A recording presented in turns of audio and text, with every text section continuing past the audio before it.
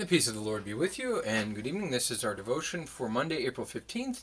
And uh, this coming Sunday is uh, is what we call Good Shepherd Sunday in the the, uh, the three year lectionary. So we've got um, we've got the, the passages about Jesus uh, Jesus talking about being the good shepherd in, in these these uh, on these Sundays. Uh, so this year, though, for, for Good Shepherd Sunday, the the portion of John chapter ten where Jesus talks about being the good shepherd that we'll be looking at is, is John chapter ten verses eleven through eighteen. So that will uh, that will serve as our our, uh, our, our text for today's.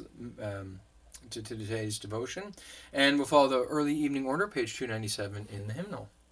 In the name of the Father, and of the Son, and of the Holy Spirit. Amen. Let my prayer rise before you as incense, the lifting up of my hands as the evening sacrifice. Joyous light of glory of the immortal Father, heavenly, holy, blessed Jesus Christ, we have come to the setting of the sun, and we look to the evening light.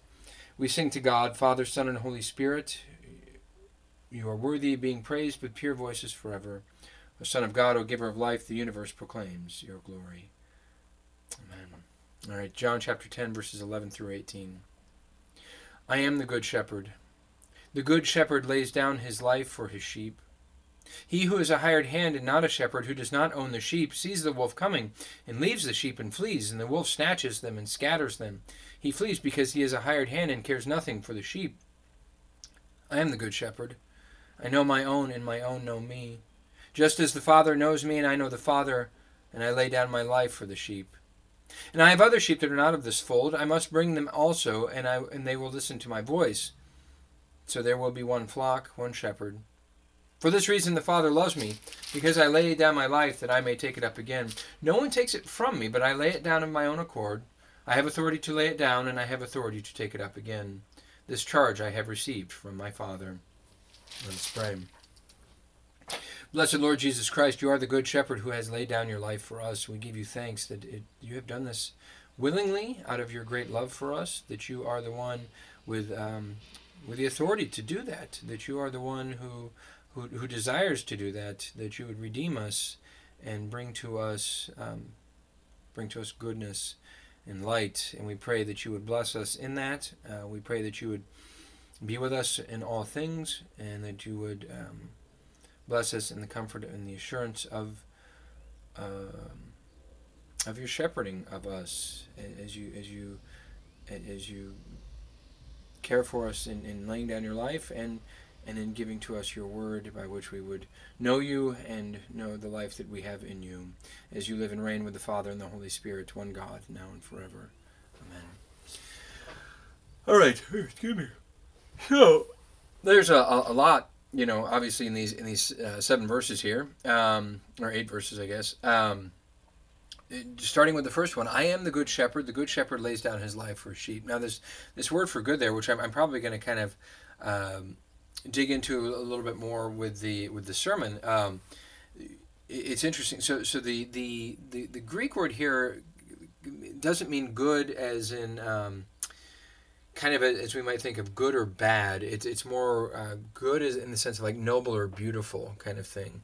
Um, so so interestingly, the the word that's used for good here is what's used to translate uh, in creation when when God looks at creation and sees that it's good. So if you think about the, the days of creation, uh, at the end of each day, uh, or as, as, God is creating each day, he looks at it and, and, sees that it's good. And at the end of the whole thing, he looks at it, uh, the whole thing and, and, sees that it's that it's exceedingly good, that it's very good, right? And and the, the Hebrew word there is tov, which means that like it it, it, it, it works right. It does what it's supposed to do. It it, it fulfills this um, this this this function given to it. But it's not just utilitarian. I, I, I think you know I, I, think we can look at the world and understand that the God isn't interested strictly in utilitarian function, right? It's not just whether whether it functions right, but um, but there's a, there, there's a way that God appreciates beauty as well. I mean, we look at the beauty of creation. I think that's that's inherent to it. So that that this this this goodness seems to encompass all of that. Christ is the one who encompasses all that. Now, I'm not saying that Christ was the, that Jesus as a man was, you know, a, a, particularly attractive man in that way or a beautiful man in that way. That's not that's not the the, the concern. I, I, I expect he was sort of um, normal looking, right? Uh, probably not not exceedingly good looking or exceedingly, you know, odd looking. Um, but but the, the he he embodies this this goodness and this beauty, right? In this, so so that's what he is. And, and but but the goodness and the beauty is seen most of all uh, in that he lays down his life for the sheep, right? That's his job. So so as the father sends him, you see this whole thing about the with the fathers. The father sends him. He does what he's supposed to do, and and he does it uh, in this beauty. Now, what's what's shocking is that we can find beauty in the cross, right? Um, you think of the gore and the um, the shock of what, what happens there. And, and, and in John, that's him being lifted up. That's his glory. Uh, the Son of Man must be lifted up, right? There, there he is. That, that's his glory. Um, but that's because that's the goodness. That's the beautiful rescue of, of love, right? And I think that's what we can bring this all back to the goodness and beauty of love. So, uh, in any case, uh, so he continues on this 12. He, he who is a hired hand and not a shepherd, who does not own the sheep, sees the wolf coming, leaves the sheep and flees, and the wolf snatches them, snatches them and scatters them. Uh, he flees because he's a hired hand and cares nothing for the sheep. You, this just makes sense, right? You get you get somebody who's a wage worker coming in to watch over the sheep. They don't care, right? If if the, if the wolf comes, not their sheep. They don't they don't bear the cost. If you know they, they, they might lose their job, but they they're not going to lose their life. They're not going to be harmed, and they don't. You know, if the sheep get no skin off their back, right? So um, so Christ contrasts himself with that. He's not that kind of shepherd. He's not a hired hand who just sort of, when the going gets tough, tough, he, he, he books it out of there.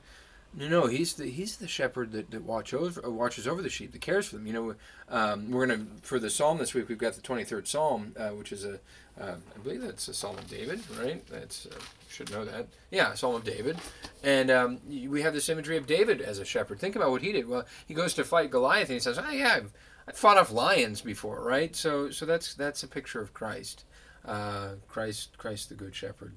Um, I am the good shepherd. I know my own, my own know me, just as the Father knows me, and I know the Father, and I lay down my life for the sheep.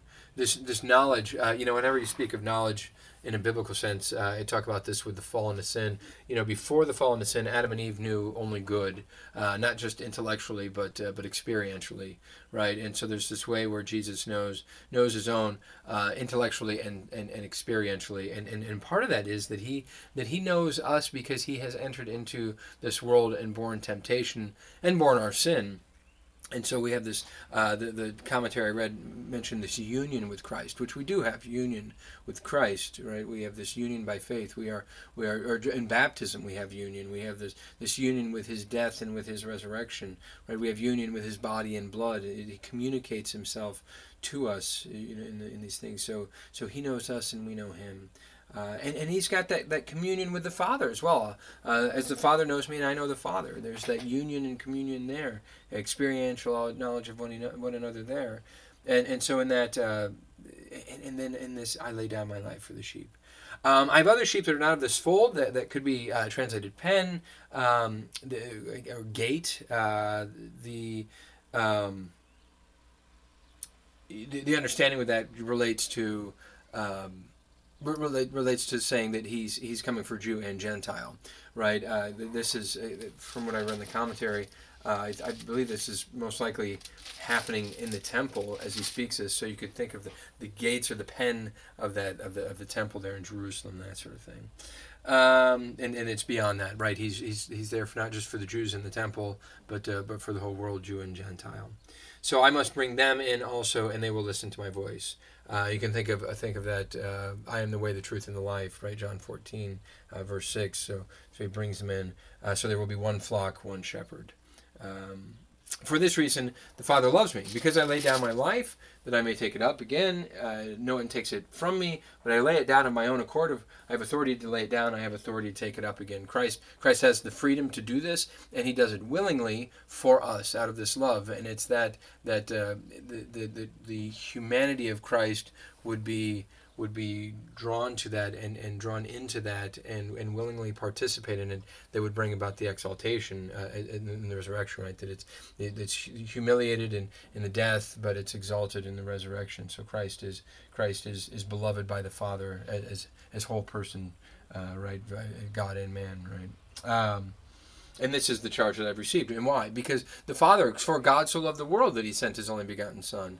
Right? So so God has loved us and sent Christ, and Christ willingly comes for us. And and that's the, the beauty of him as the good shepherd. He lays down his life for us. He does his work that we would be redeemed and that we would be brought into that that that re experiencing of what that's supposed to be like that that creation at the beginning to, to be brought back into the, into into the, the order and the goodness that that is and, and that's the, the joy of our eternal life in Christ. Um, so thanks be to God for that. All right we continue with the Lord's prayer. Our Father who art in heaven hallowed be thy name. Thy kingdom come thy will be done on earth as it is in heaven. Give us this day our daily bread and forgive us our trespasses as we forgive those who trespass against us. And lead us not into temptation but deliver us from evil. For thine is the kingdom, and the power, and the glory, forever and ever. Amen. Lord Jesus, stay with us, for the evening is at hand, and the day is past. Be our constant companion on the way. Kindle our hearts and awaken hope among us, that we may recognize you as you are revealed in the Scriptures and in the breaking of the bread. Grant this for your name's sake. Amen. Let us bless the Lord. Thanks be to God. Amen.